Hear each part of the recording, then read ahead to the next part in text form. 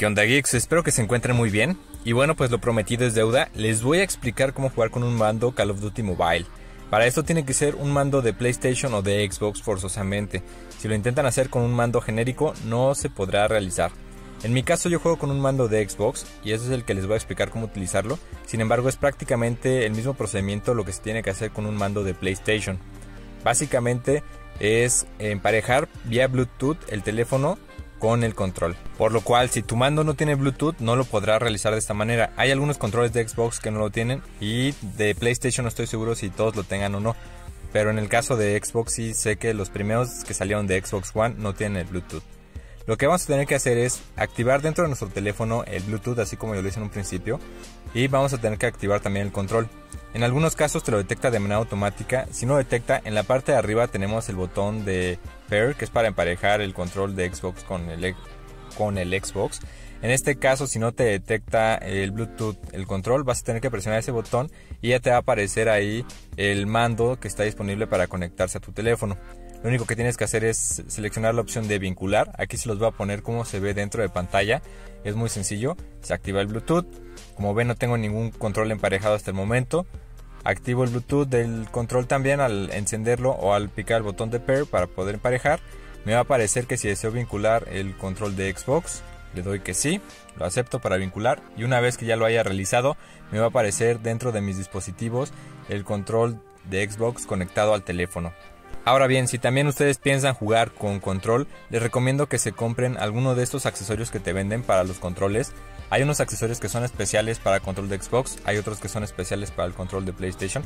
Van a tener que buscar dependiendo con el control que vayan a jugar, cuál es el que se adapta para su control. Y una vez que se le instala el control se va a ver algo así. Y la verdad es que es algo muy práctico y muy sencillo de instalar dentro de tu control y que te va a ayudar bastante para que puedas sostener tu teléfono mientras estás jugando. En otro caso tendrías que apoyarlo en una mesa o en algún lugar y siento que sería un poco más incómodo porque lo tienes a una distancia un poco más larga. Sin embargo, esto te brinda muchísima comodidad para poder jugar. Y ahora sí, una vez que ya emparejaste el control con tu teléfono y vas a entrar a una partida, en la parte de arriba te va a aparecer un letrero que te dice que vas a jugar con un mando, por lo cual te va a emparejar con jugadores que también estén jugando con mando. No siempre sucede así.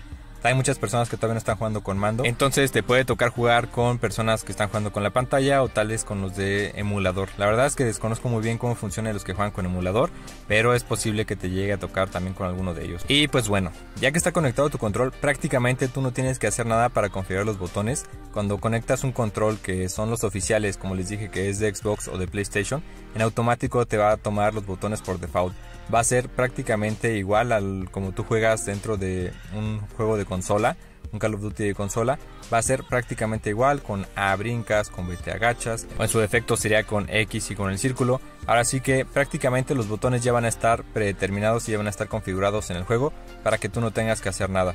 Eso sí, también dentro del menú del control, en la parte de ajustes del juego, vas a poderlo configurar. Ahorita voy a ir un poco más adelante a eso. Pero lo que yo les quería comentar es que una vez que ya lo emparejaron, ustedes no se van a tener que preocupar de nada más que por jugar, por así decirlo. Ya va a estar todo listo para que ustedes echen sus retillas con el control. Y para los que se preguntan si con un mando se puede jugar también partidas igualadas, efectivamente sí se puede, ahorita se los voy a mostrar. Me imagino que también los que juegan con emulador se pueden meter a partidas igualadas. Eso sí, no me gusta tanto porque los que juegan con emulador sí tienen una ventaja un poco más grande que jugar con un mando.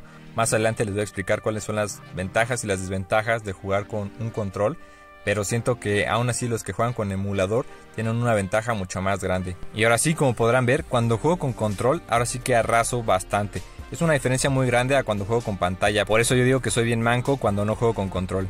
Y pues ahorita voy a seleccionar lo que son las partidas igualadas, igual tengo el control conectado como lo pueden ver, le doy en buscar una partida. Eso sí, cuando juegas en partidas igualadas normalmente se tarda muchísimo tiempo en encontrar una cuando estás jugando con control. Porque en teoría lo que hace el juego es tratar de emparejarte con más personas que están jugando con control, para que tú no tengas una ventaja sobre las otras personas o para que sea más equitativo. Pero en algunos casos llega a suceder que te encuentra partida rápida. Es muy raro, o sea, puede variar. No quiere decir que siempre se va a tardar mucho o que siempre se va a tardar poco pero eso sí, en definitiva, se tarda un poco más que cuando juegas con la pura pantalla. Ya. Y ahora sí, yo les quería comentar un poco de los pros y de los contras de jugar con control. Como podrán ver, eh, eso de que se tarde mucho en encontrar una partida podría ser uno de los contras.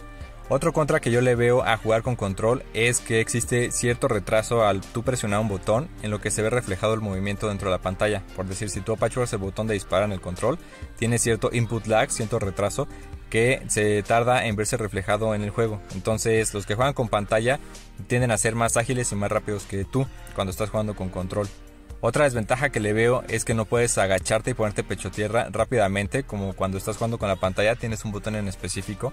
En el control tienes que dejar presionado el botón B y se tarda mucho más tiempo en agacharse y ponerse pecho tierra, lo cual eh, sí te da una desventaja en algunos movimientos comparado contra los que están jugando con control o con emulador.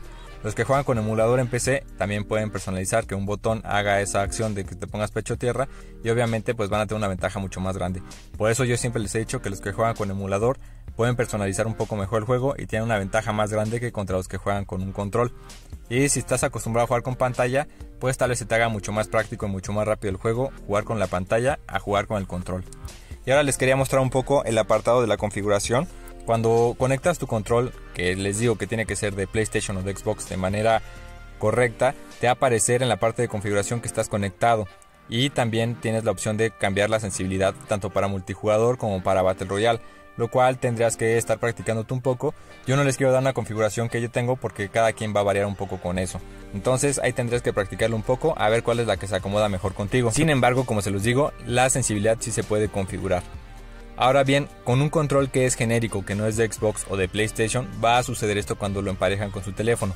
Igual les voy a hacer la prueba para que vean que es prácticamente igual. Voy a conectar el control al teléfono de la misma manera. Voy a activar el Bluetooth, voy a buscar el control, me va a parecer que es como un Pro Controller lo voy a seleccionar, lo voy a emparejar, me va a parecer que ya está conectado en el teléfono. Sin embargo, el juego de Call of Duty Mobile no se los va a reconocer, ya que solo acepta de Xbox o de PlayStation. Perdón si lo repito tanto, pero quiero ser muy claro que si ustedes compran un control genérico que no sea de esas marcas, no lo van a poder utilizar dentro de Call of Duty Mobile. Y esto les pasa a muchos que compran un control chino o en el tianguis o en donde sea, y cuando intentan jugar con el control no pueden y es evidentemente porque el juego no está hecho o no está adaptado para que puedas jugar con otros controles más que con los originales de Xbox o de PlayStation. Claro, sí se puede utilizar los controles que compras en Tianguis o los chinos para jugar en el teléfono, ya sea Call of Duty Mobile o algún otro juego. Sin embargo, vas a tener que utilizar una aplicación de terceros que los puedas encontrar dentro de la Play Store o de la tienda de iOS pero yo no se lo recomiendo para nada. ¿Por qué? Porque esto puede ser considerado ilegal, porque puede dar algunas ventajas a algunas de esas aplicaciones dentro de los juegos. Y obviamente al detectar que estás jugando con una aplicación de terceros puede ser baneado. Y con baneado me refiero a que te penalizan dentro del juego para que no puedas jugar durante un tiempo, puede ser días o puede ser años. Entonces no les recomiendo para nada que compren de esos controles chinos o genéricos para poder jugar. Sino, si quieren jugar con control, inviértanle un poquito más en uno de estos originales y créanme que se van a ver muy beneficiados si están acostumbrados a jugar con control. Y pues bueno geeks, esto sería todo por el momento. Espero que esto les haya servido mucho. Si les sirvió por favor compártanlo con sus amigos. No olviden de suscribirse al canal. Y si tienen cualquier duda o algo me la pueden dejar en la parte de comentarios. Cuídense mucho y les mando un abrazo. Bye bye.